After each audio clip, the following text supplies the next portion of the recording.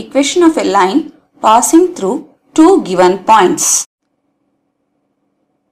Let A x1 y1 z1 and B x2 y2 z2 be two points on the line L. Now let A vector and B vector be the position vectors of the point A and B respectively. Let P be any arbitrary point on the line with position vector r.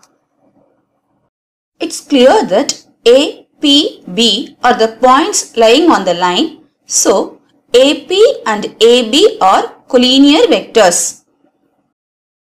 Therefore, from the definition of collinear vectors, vector AP is equals to lambda into vector AB for some lambda belongs to real numbers. But vector AP is equal to vector OP minus vector OA that is R vector minus A vector. Similarly, vector AB is equal to vector OB minus vector OA that is B vector minus A vector. Substituting the respective values in vector AP is equal to lambda into vector AB, we get R vector minus A vector is equals to lambda into B vector minus A vector. That is vector R is equals to vector A plus lambda times vector B minus vector A. Therefore, vector equation of a straight line passing through two given points A and B with position vectors A and B respectively is vector R is equal to vector A plus lambda times vector B minus vector A for some lambda belongs to R.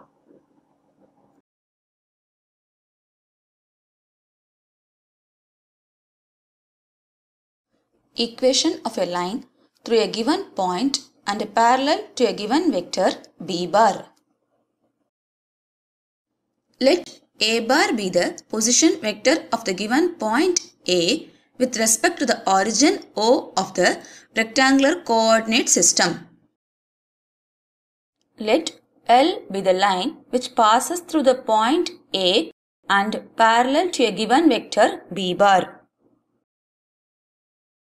Let P be any arbitrary point on the line L with position vector R bar. From triangle law of vector addition, we have OA bar plus AP bar is equal to OP bar. But we have OA bar is equals to A bar and OP bar is equal to R bar. Now, the line L is parallel to the given vector B bar. That is, AP bar can be written as AP bar is equal to lambda into B bar for some real number lambda. From vector law of addition, we got OA bar plus AP bar is equal to OP bar. Now, substituting the corresponding values that is OA bar is equal to A bar and AP bar is equal to lambda B bar and OP bar is equal to R bar. We get A bar plus lambda B bar is equal to R bar. Therefore, equation of a line through a given point and parallel to the given vector B bar is R bar is equal to A bar plus lambda B bar. Angle between two lines. Let L1 and L2 be two lines passing through origin with direction ratios A1, B1, C1 and A2, B2, C2 respectively. Let P be any point on L1 and Q be any point on L2. Let theta be the angle between two directed lines OP and OQ. Now, These directed line segments are nothing but the vectors with components a1, b1, c1 and a2, b2, c2 respectively. Therefore, the angle between the vectors OP and OQ are cos theta is equal to modulus of A1 A2 plus B1 B2 plus C1 C2 by root over A1 square plus B1 square plus C1 square into root over A2 square plus B2 square plus C2 square. If instead of direction ratios, direction cosines say L1 M1 N1 for L1 and L2 M2 N2 for L2 are given, then the angle between these two lines are given as cos theta is equal to modulus of L1 L2 plus M1 M2 plus N1 N2 as L1 square plus M1 square plus N1 squared and L2 square plus M2 square plus N2 squared both are equal to 1. Angle between two straight lines in terms of sine theta. We know sin theta is equal to root over 1 minus cos square theta. Substituting the value of cos theta, we get sin theta is equal to root over 1 minus a1 a2 plus b1 b2 plus c1 c2 whole square by a1 square plus b1 square plus c1 square into a2 square plus b2 square plus c2 square.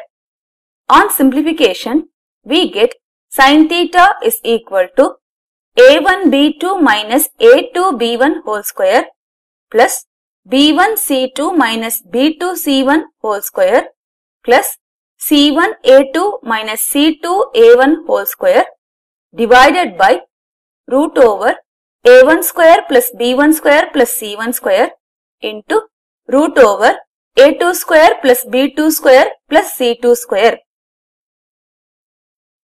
Condition for two lines with the direction ratios a1 b1 c1 and a2 b2 c2 to be perpendicular. If these two lines are perpendicular, then the angle between them that is theta is equal to 90 degrees.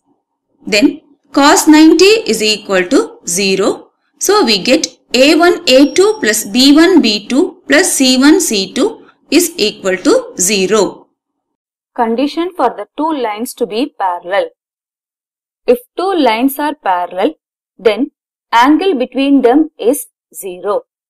Substituting theta is equal to 0 in the formula sine theta, we get the condition for two lines to be parallel as a1 over a2 is equal to b1 over b2 is equal to c1 over c2.